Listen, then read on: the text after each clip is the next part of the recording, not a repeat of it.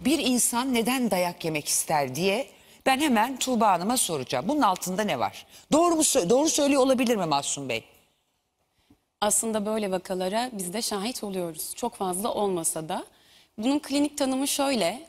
Mazoşist kişilik bozukluğu dediğimiz e, bir kişilik bozukluğu tanısı bu. Bu aslında bunun temelinde çocukluk dönemi yaşantıları yatıyor. Çocukluk döneminde anne ve baba tarafından cezalandırılma, Evet ve e, şiddet görme karşısında kişi kendi suçluluk duygusunu hafifle, hafiflediğini hissetmişse eğer ve suçluluk duygusundan da kurtulduğunu düşünüyorsa bir yerde o çocukluk döneminden yetişkinlik dönemine geçtiğinde haz duygusunda bozulma deriz biz buna. Ve e, hem cinsel yönden hem e, fiziksel acı yönünden kişi bunun yoğun bir şekilde hissettiğinde duygusal olarak hafifler. Ama altında yatan başka şeyler de var. Evet, suçluluk, zayıflık, kişinin çaresiz hissetmesi. Kendini değersiz bulma mı? Evet, kişi kendini değersiz bulduğunda, hatta sorumluluklarından e, kaçtığında bile kişi buna çok eğilimli olabiliyor. Ama bunun tek bir e, altında sebep yatmıyor. Yani anne baba yaşantısı, hani anne babayla deneyimlediği o ilişki e, tam temeli oluşturan bir durum.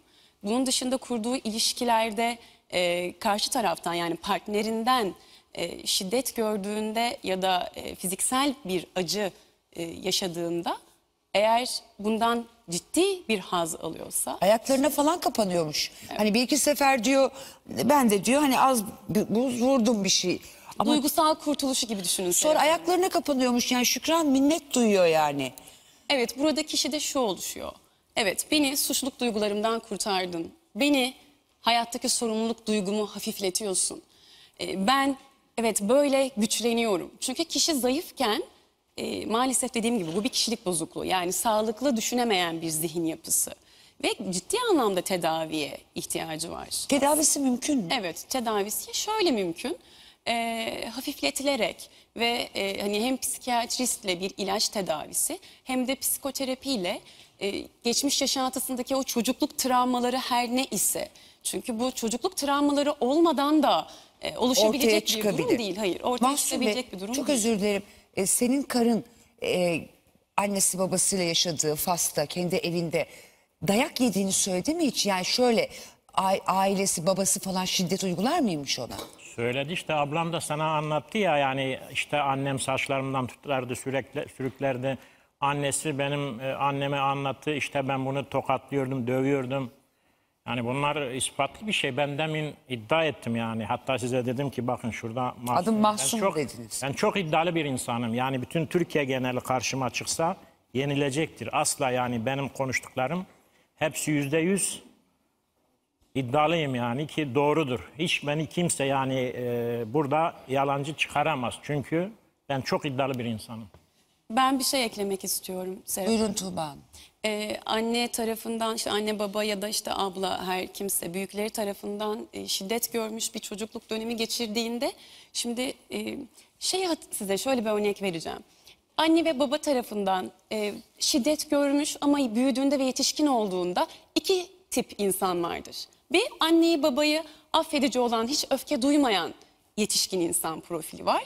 Bir de anneyi babayı affedemeyen, onlara gizli öfkesi olan ya da bunu dışsallaştıran, dışına yansıtan ve anne ve babayla mesafeli ilişki kuran yetişkinler var. Değil mi toplumda Evet. hepimizin içinde? Ee, burada Mahsun Bey'in eşinin şöyle bir durumu söz konusu olmuş. Biz pozitif anlam ve negatif anlam yükleme deriz. Yaşadığımız olumsuz olaylarla baş edebilmek için. Muhtemelen karısı da yaşadığı o şiddet ve e, kötü hissettiren olaylarla baş edebilmek için zihni bir yerde bir çarpıtmaya uğruyor ve yüklediği anlam şu oluyor. Ben suçluyum ki, Beni suçluydum dövüyorlar. ki, evet annem babam beni sevmesine rağmen bana vuruyor. Ve ben bu şekilde temizleniyorum, aklanıyorum affediliyorum, hafifliyorum. Hatta- Ve yaptığı suçu da tabii tabii ya, Tuğba yap- Hanım belki hat- hatta ilgi görüyorum. İlgi bana yöneliyor. Dayakla bile tabii olsa. bunu hazda çeviriyor zaten. Evet. Aslında suçluluk hissi bir yerden sonra zihin e, düşünceleri çarpıttığında yani o zihin sağlıklıyken sağlıklı olmayan bir e, duruma geçtiğinde bu sefer haz almaya başlıyor. Neden? tüm suçluluklarını atıyor, hafifliyor. O zayıflığı kalmıyor. Neden? Çünkü o mağdur oluyor. Mağdur olduğunda artık zayıf olmuyor. Yapan zayıf oluyor. Onun ona göre yani bu tarz kişilik yapısında. Bir de e, mesela Mahsun Bey'i de tabii bir taraftan test ediyoruz. O her ne kadar benim adım Mahsun ben şu doğrucuyum dese de tabii ben tanımıyorum Mahsun Bey'i. Söylediklerinin yüzde yüz doğru olduğunu bilemem. Onu göreceğiz zamanla karısı falan ortaya çıkınca eski eşi. İşte ben Fakat de kendimi doğrulamak için zaten buraya Tamam. gelmişim. Çok çevreden yani inandırıcı gelmedi. Bak siz yani bir sunucusunuz, okumuşsunuz. Yani bu seyirciler dahi hiç kimse inanmadı, inanmaz da yani. Yo, hayır. Çok şükür ki Ee, geldiniz. Ben ülkemizde, çok rahatladım yani. Bundan sonra inşallah kişilik yapısına, hani, yapısına sahip olan e, normal olmayan sağlıklı. Şunu da soracağım yine Mahsun Bey'i teyit etmek açısından. Diyor ki hiçbir şey yokken ortada gün içinde hani normal hayat sürerken o kadar beni tahrik eden, kışkırtan şeyler yapıyordu ki sırf onu döveyim diye. Hani resmen çileden çıkarıyordu beni diyor. Bu doğru mudur siz? Olur mu böyle bir şey?